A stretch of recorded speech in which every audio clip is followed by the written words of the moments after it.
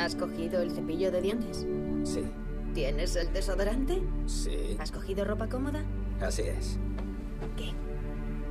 ¿Saben que soy negro? ¿Deberían? Es un dato que igual tendrías. Papá y mamá, mi novio negro vendrá a pasar con nosotros el fin de semana y no quiero que os sorprendáis porque es negro. negro. Nunca te había visto así, tío. Haciendo un viajecito para conocer a la familia. No te me vuelvas pijo, de esos que llevan el pantalón hasta los sobacos.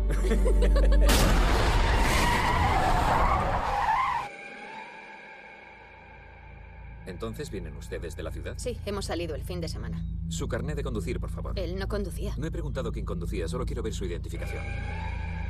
Llámame Dean y abrázame, hombre. ¿Cuánto tiempo lleváis con este asuntillo? Ah, Contratamos a Georgina y a Walter para ayudarnos a cuidar de mis padres. Cuando murieron, no podía soportar que se fueran.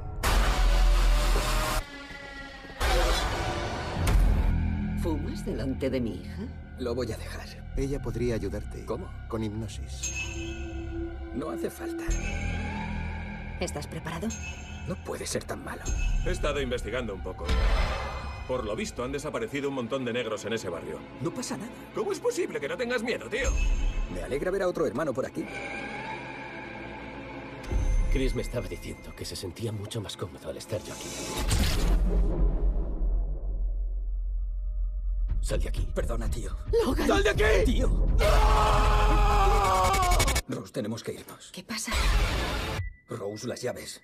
Coge las llaves. No sé dónde están. Rose. Húndete en el suelo. Espera, espera, espera. Húndete. Desperdiciar una mente es imperdonable. Es imperdonable.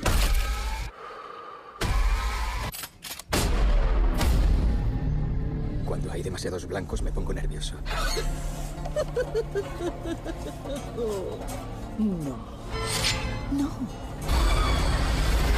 No, no, no, no, no, no, no, no.